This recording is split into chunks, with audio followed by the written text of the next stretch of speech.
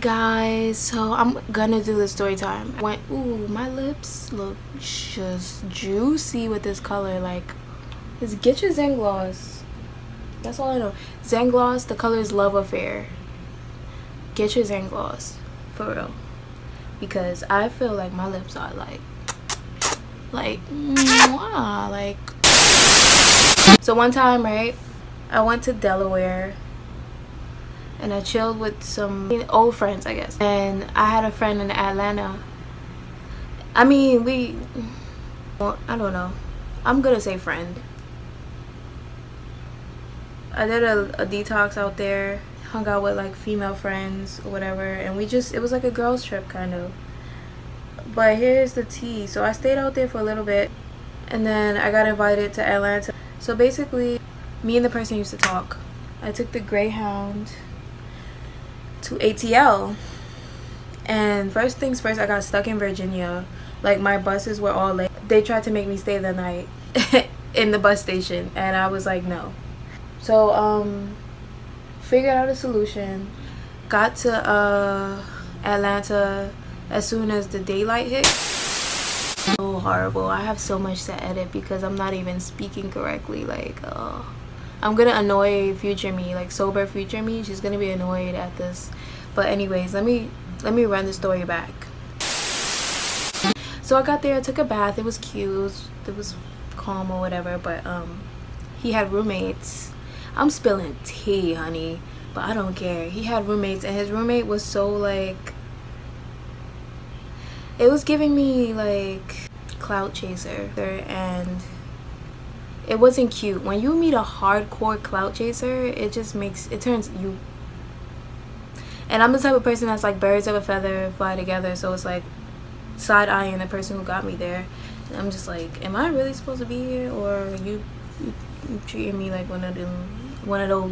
Ignoring that the best part about it was that there was a pool that I could go to any time of the day and I was looking thick I was looking good and all right let me stop. Let me stop being shallow so yeah um all was well. I copped some bud and i didn't really like come out of the guy's room because i didn't know anybody and it was just like all they talked about was like instagram girls and like they drag like i've never in my life heard men drag women so badly and the energy about it was just not Mm -mm. I just wasn't into it. I was just like y'all acting like y'all like celebrities or something, and it was just not my vibe. Like y'all are not humble at all. None of them were humble. Like all they were doing, any type of Instagram. If you name one Instagram girl right now, they dragged her. Like that's how it is. Like they were just dragging females, and it was it was just not the wave. I didn't like that at all. So that was strike one listening to you like amongst your friends drag instagram girls because y'all can't get next to them and it's like okay and if y'all did get next to them y'all chat and drag them and make it seem like they're sluts and hoes and all these things when they're just living their life just like you. But anyways before i go off so then it was some it was it was the mystery guys. I'm gonna call him mystery guy I don't want to be on their list of Instagram girls. If I'm, I, I, probably am already. They probably dragged me enough already because it was embarrassing out there. It was so embarrassing. Happened. So there was a birthday party for the mystery guy, and the birthday party was lit. The thing that blew mine was like they were preparing for the birthday party, right? So they weren't home so i i was like i'm gonna go chill at the pool like honey that's all i need and it wasn't people at the pool i was literally the only person so he calls his female friend to come hang out with me at the pool and smoke and stuff, right? Mind you, I talk to him. But anyways, so he brought a female friend to chill with me. Come to find out it was his ex, which I thought was really weird. I thought that was just, I think, I felt like it was, in my opinion, I felt like it was rude, but mostly weird that like, you got your ex like rolling up for me and stuff like that, which is fishy. Hey guys, hi, I'm back. I'm back, I'm back, I'm back. So basically, um, I'm so cute. I'm just so cute. It makes no sense. Look at me. I'm beautiful. Okay, I'm sorry. Sometimes I have to have those moments. It's very healthy. But as I was saying, so me and her were like chilling at the pool and uh, we were smoking and chatting and she was really cool but I just felt like that was weird that like you could call your ex and she pulls up like that quickly with bud and every, like everything prepared for you and turned out to be for me. And I don't know when me my exes do not they can't contact me it's clipped. Once you're done you're done because you're not gonna get it any more parts of my energy than you have gotten and waste my time again. So I always cut off my exes like to the max. So that was just weird to me like to me that was just really weird but uh, we're chilling and all of that stuff. And then fast forward blah, fast forward. We finally get to the party and i went with the girl. I didn't go with him. So that was even more weird. The whole day you left me alone with your ex. I think that's really weird but maybe that's just me being overly sensitive. We still have the red wine popping so let's get into it okay? So um it's party time now. So she has a car we both drive to the party. He's not nowhere to be well actually in atlanta they do this weird thing. So you know in new york when before the party starts people post up outside like the front of the place. In atlanta it was like a parking lot and people were posted up with their cars. And the way they be atlanta people are fucking clout chasers. Not all of them but most of them. Or maybe it was just the people i was around but oh the clout chasing was to the max and i was just like yo this is so fraudulent. I get to the party she gets to the party too and she's like no offense but she was like smoked out and i guess she had drinks too and i was just she was just wanted to sit in the same spot and i was hot and i was looking at people with like vests with no shirts on and they just wanted to be New York City so bad. I was like, uh, New York is effortless. Y'all trying too hard. But no shade to Atlanta. Atlanta is still fun, but girl, it just wasn't it wasn't for me. It just wasn't it for me. It was Atlanta for me. Yeah, so I'm just looking at everyone and it's a hot mess, but it's still a lit party and like I finally got a hold of the guy. Like I finally found him in the party cuz he was like at the door getting his coins. I don't blame him and i'm just like so what am i supposed to be doing? Like i don't know anybody out here. So he gives me this big ass bottle and then has me standing by the bartending side. And i'm just standing there with the bottle and i'm just like okay the music's lit. And i'm with his ex and she's kind of dry. She's not really talking. And i it looked like she was really lit like she was done for like but not in a bad way. It's just she looked really like she was nice. Like she was nice. Like she was just she was at that point he gave me the bottle i forgot what it was i forgot what what bottle you had me holding it was probably a henny bottle or some shit some basic shit and um he had me standing by the bartender section he told me to stay there i guess until he came back around but the lip part was Coi Leray. She was there performing and she went off. Like, yes, girl, go off. Yeah, so the only person that I knew was his ex. So obviously I'm gonna stay around people that I know. But then she got over it and she was like, well, I'm going home. And she had the whip. And I'm just like, dang, so where am I going? Because I was staying with him in Atlanta. I should have just booked a hotel, my own hotel or my own Airbnb because that environment was toxic as fuck. But um sips tea to that. He finally comes up to me and they have a camera and they're like recording his birthday party and he's chatting. And he put me in the video and I kind of didn't want to be in the video because I didn't want anyone to know that I was even in ATL because that's not the experience that I expected to have but it don't matter. It don't matter. It's whatever. It's the past now and I'm a bad bitch and they can't touch me now. I'm a different person now. You can't get me like that again now. No no never not ever okay? So the party's done I go back outside and the ATL stuff is happening. Like they post up in the parking lot because everybody has a car. And these girls were like, where's the niggas with the bottles? Where's the niggas with the bottles? And then they see guys like parked up by their car and they literally go to them. Like they don't even know them and they're like, oh, they got bottle. Like, girl, what are you doing? Like, go cop your own bottle. What are you why are you chasing strangers for a bottle like they're gonna get you lit and then they're gonna want to smash like what else do you expect if that's what you're there for then girl go ahead and do your thing but don't go chasing niggas for a bottle. Please don't. It's just not cute. And that's like the bottom of the totem. Like what are you doing? So party ends. We get back to the crib. Um i'm tired. They're they invited oh my god why did i skip this part? Let me clear my throat. We get to the house. I got there i think i got there first no actually i got there a little bit later because there were mad girls in the house and it was like his friend and his other friends like his male friends and the girl keeps calling him. She's like saying mystery guy mystery guy. He wasn't there yet. He wasn't at the house yet. And it's just like mystery guy mystery guy. And i'm looking and i'm just like this is thirst and this is like why would you bring me in this environment when you know you got holes like mad holes that's on your body like that? Like don't i don't want to get twisted up into that mix like i'm not one of your hoes.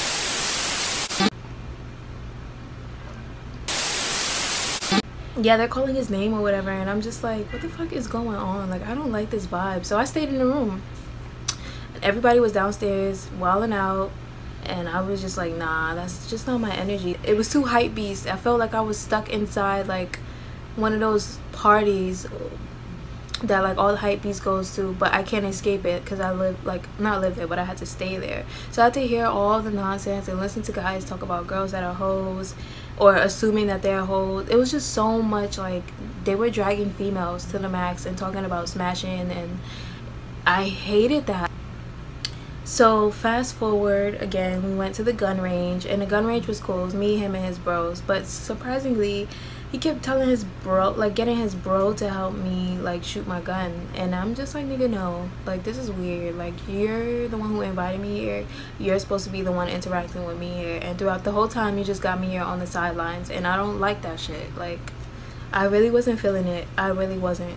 But anyways i look so good guys. You just don't understand. I look really good. Why not just just be like a baby doll to yourself? Like this is what i love. Like i'm just okay i'm sorry. I got thrown off by my beauty. Imagine getting thrown off your story by your beauty. Like that's goals and that's where i'm headed honey. Running. We kind of like get to the gun range and he's showing me like where he grew up and where his dad works and all of this stuff and I'm like okay this is cute. Like he's showing me around because bitch I did that for him in New York City when he was lost and he didn't know nothing about Dollar Slice pizzas okay? Yeah so we get to the gun range I choose my gun I shot a pistol and then I shot like an automatic and it was fun the automatic is way better than the pistol the pistol take your hand like I don't know what you call that, but when you shoot, your hand goes back. And I was scared. Like, I was like, what if I hit my face with the gun? But when I had like an automatic, it was just right? But anyways i should have took my thing he had this one friend that was really really sweet though and i actually liked that friend. Not in like a ooh he's cute but in a like oh my god he respects women and he's really cool and he's really chill and he's not like trying to prove something with his masculinity or whatever. But the gun range the gun range was cool because i got to let off steam because i was pissed off. I don't know why i was pissed off that day but they probably did something that got me tight. Or it was just being around all that male negative energy.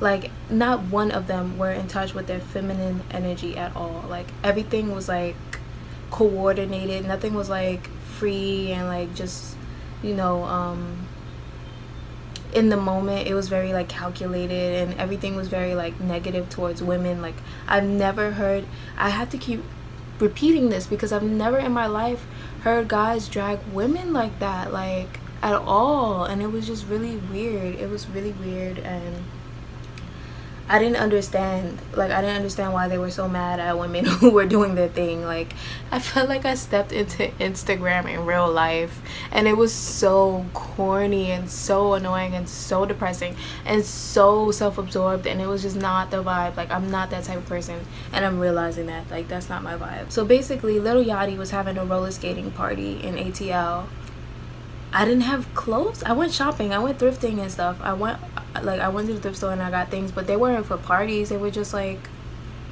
you know stuff to wear like just cuz. Yeah, I went I had that clothes like the thrift store clothes, but come on now.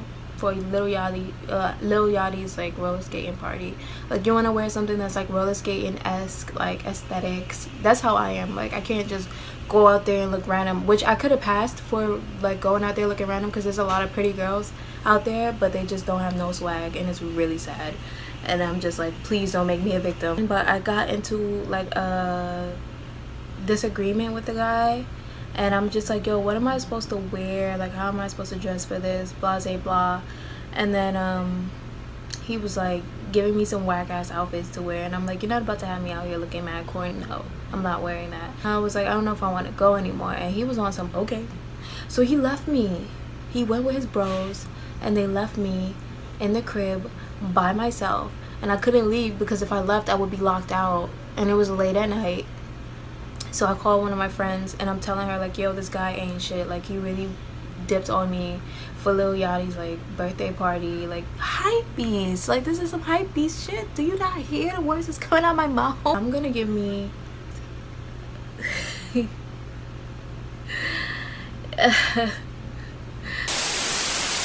That's so much exposure. I don't want to violate. but I'm nobody to them. So does it matter or should Will I get backlash from this? I don't know. I'm tight and I hit up my homegirl and I'm like, yo, he really left me in the house with like no way to get out if i try to leave like i'm stuck in there he really left me for this Lil Yachty party like he really left me in the crib so i like take a pen or something and i poke a hole in his airbed and it starts going flat and i'm just like oh fucking well. And then i got mad I, I don't know why but i got mad and made myself a bev like a little liquor or whatever.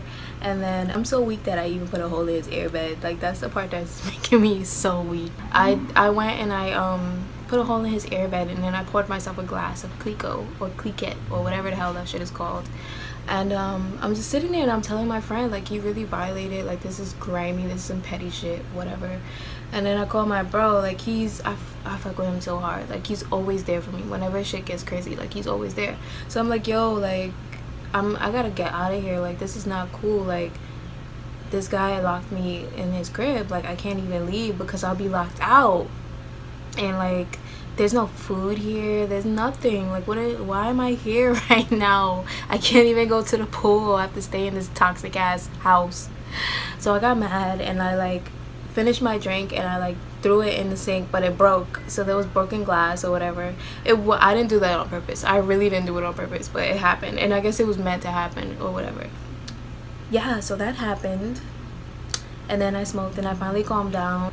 They finally came I blacked. I went off. I was like, why would you do that? Like, that's so petty. Like, you left me in the crib by myself. And I thought we were, like, on a different type of time. And, like, I know we not talking or we are talking or whatever. But if it were you, I would not do that to you. Like, I wouldn't, I wouldn't violate you like that. And you violated the fuck out of me. And he was just being a kid. Oh i don't want to lose you as a friend and blah blah blah. Like you're really nice and important. And you said you didn't want to go and blah blah blah. And i was like i didn't have anything to wear so why would i want to go to a Lil Yachty party and look basic? Like excuse me. No. So i left and i went to the couch downstairs and um yeah they're gonna know. They're gonna know who i'm talking about and i don't care at this point but it happened and you violated so if you're watching this i still don't forgive you. No i'm just kidding. I don't care. That's why i'm telling the story. Um but yeah so um I slept on the couch and I called one of my friends, my other friend, and I'm telling her like this guy is so grimy, so corny, blah blah blah. And the funniest part is like while I'm mad, I I was seeing him like trying to blow his bed back up, but